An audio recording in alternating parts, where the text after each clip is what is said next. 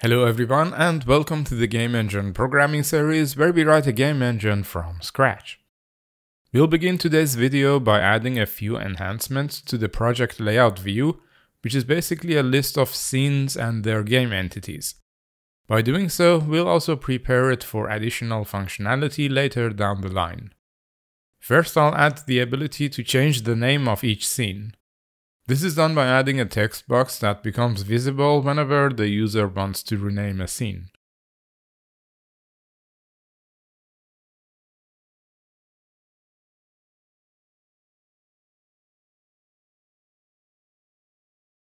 We add a button for the user to click in order to make the text box visible. The text box will collapse when we press enter, tab or the escape key. This is handled by the style that we are using for the text box.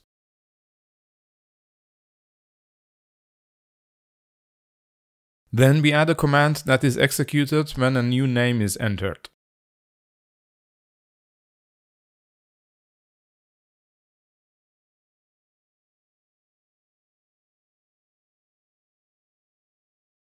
Of course, we also want this to be an undoable action, so we record the old name and add an undo redo action for it.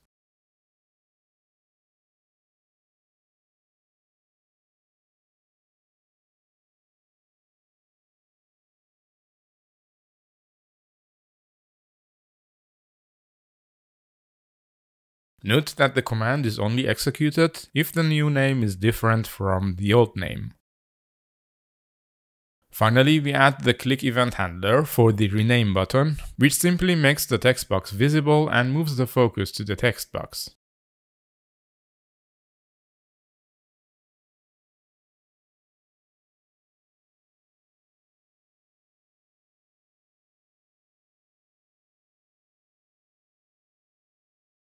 Speaking of focus, the current implementation clears the focus altogether from the user interface which makes it impossible to use the keyboard after using such a text box. The user then has to click somewhere within the editor in order to regain keyboard focus. I'm going to fix this problem next.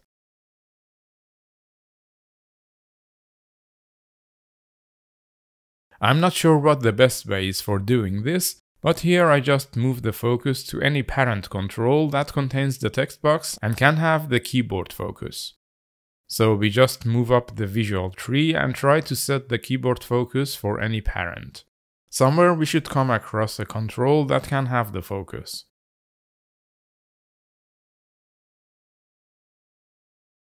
Then I just refactored this part to a new method, which is called when we press a key on the keyboard.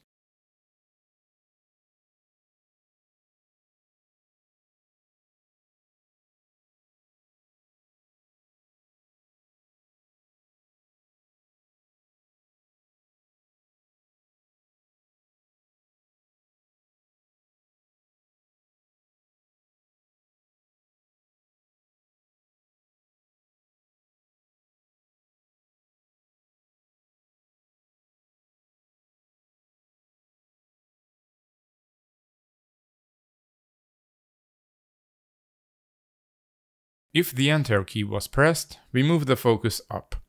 The Tab key will automatically move the focus to the next control. We also move up the focus when the user presses Escape to cancel their changes. I would also like to update the property that is bound to the text box when the text box loses the focus. This is to handle the case where we use the mouse to move the focus, which obviously wouldn't trigger the key down event.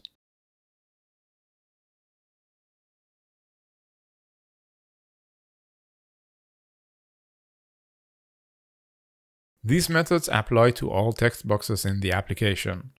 The renaming text boxes have the same behavior, with the addition of becoming collapsed after losing their focus. Note that we also don't bother with setting the focus, because when the text boxes collapse, their focus is automatically moved.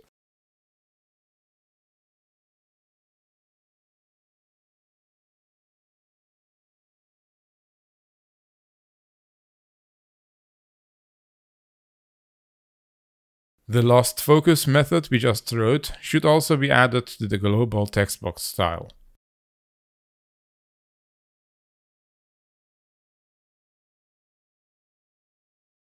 Now we can undo and redo the changes we make using the text boxes without having to click the application.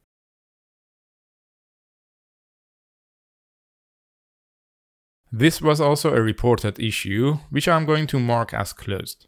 Thanks again for all your efforts to make Primal better for everyone. By the way, the proposed solution here works too, so it's your choice how to solve it. In my case, it felt more natural that the focus didn't move to the next control, but it went up to the parent of the currently focused control. Feel free to try both solutions to see what works better for you. Great. Another issue that was reported is that we can't use the mouse wheel to scroll through game entities.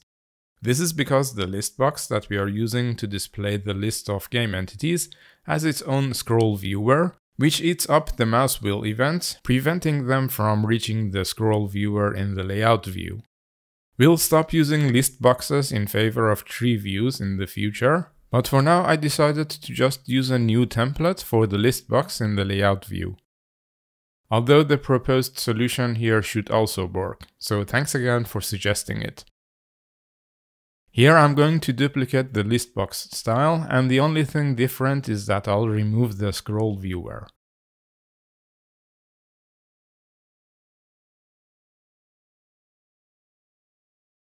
This should fix it.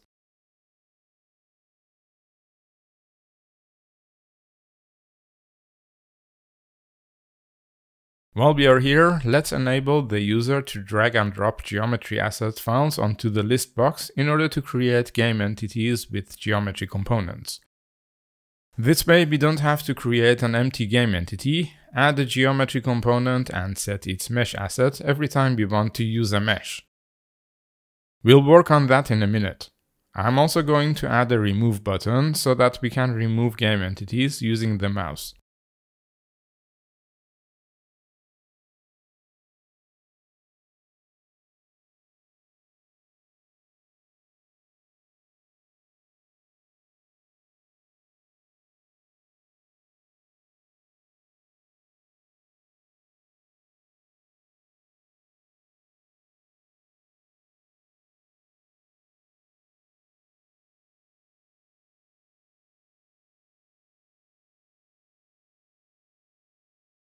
The remove button is only visible when the mouse is over a game entity. We use a trigger to set its visibility.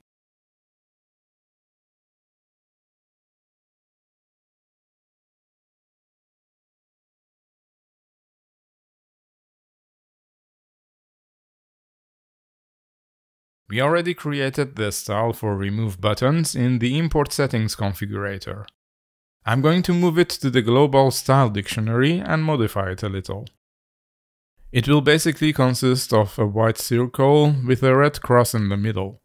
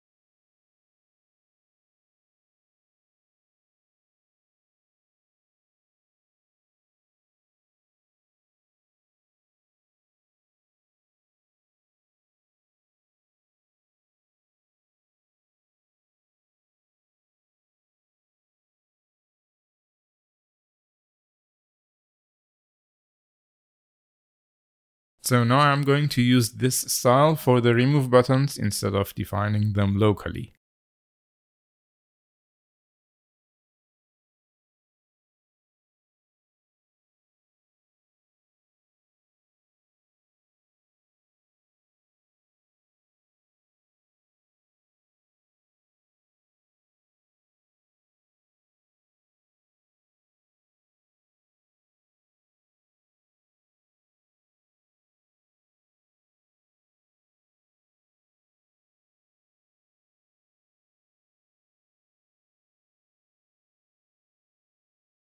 And I'd also like to select the first game entity in the list when the editor is loaded.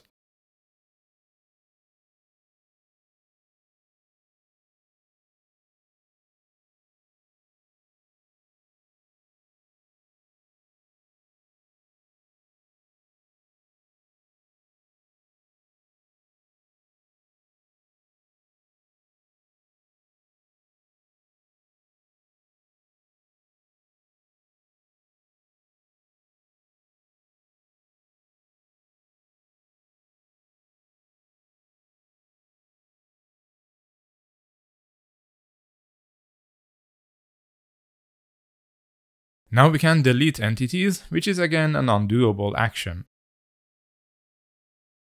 We can also use the mouse wheel to scroll through the list of entities.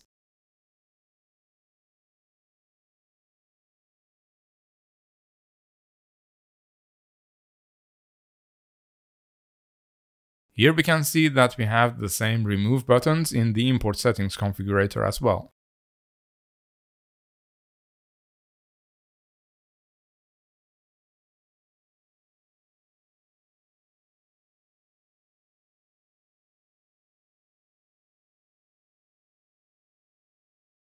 Let's also make it possible to delete selected entities using keyboard. For this, we add a key down event handler and remove entities when the user presses the delete key. Well, actually, let's do that later. It's more fun to create entities by dropping mesh assets. Yeah, let's do that first.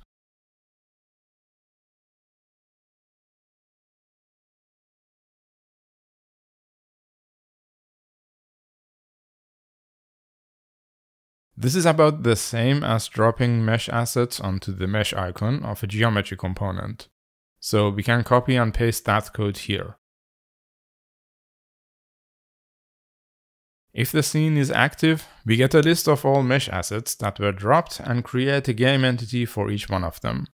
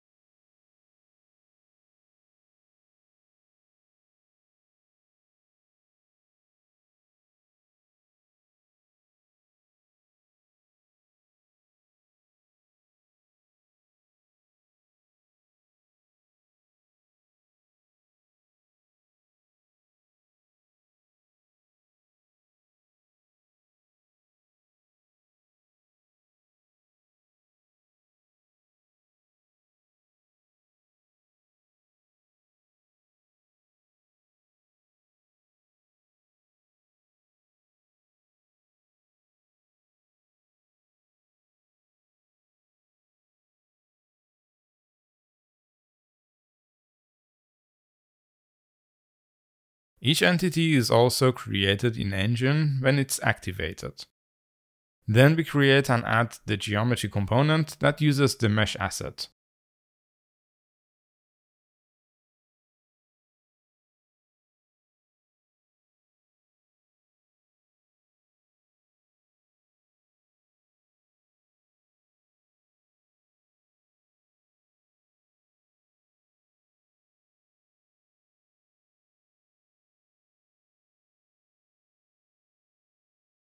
At the end, we execute add game entity command for each entity.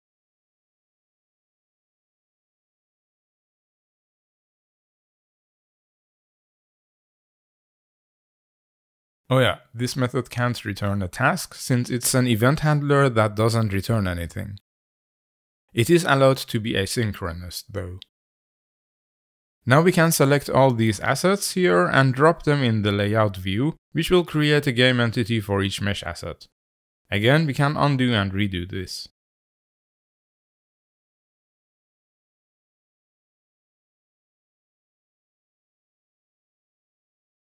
And of course we can change the mesh that's used for one or more game entities at the same time.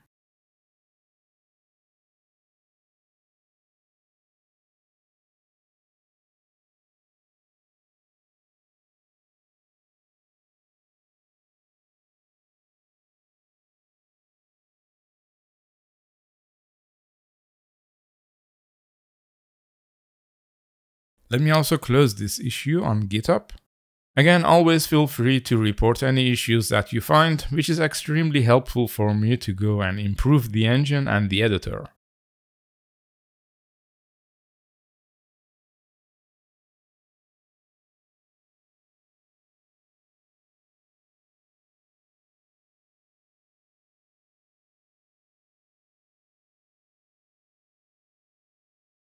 There's also a little bug in the undo redo for entity selection. I'm going to fix that by adding a new list in order to record the indices of the selected items.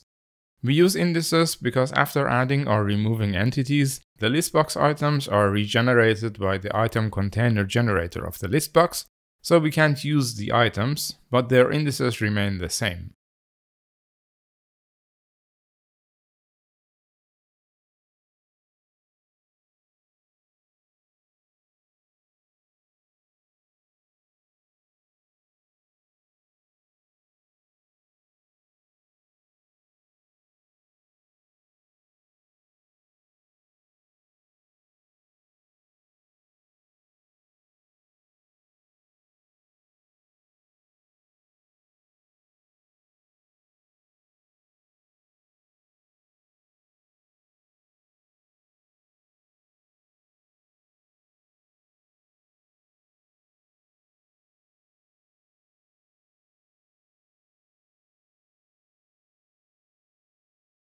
Of course, we should call container from index here.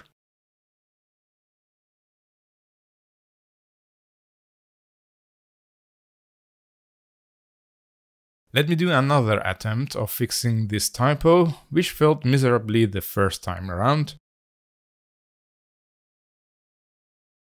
And that's it basically for this episode. Normally I would tell you what we are going to do in the next video, but this time I'm not sure what that will be. We could either try to render what we have, or we could add support for material inputs in the editor. I guess that's going to be a surprise for the next video then. Hopefully you'll be back to see what's up, and with that I say thank you for joining me today and I'll see you next time.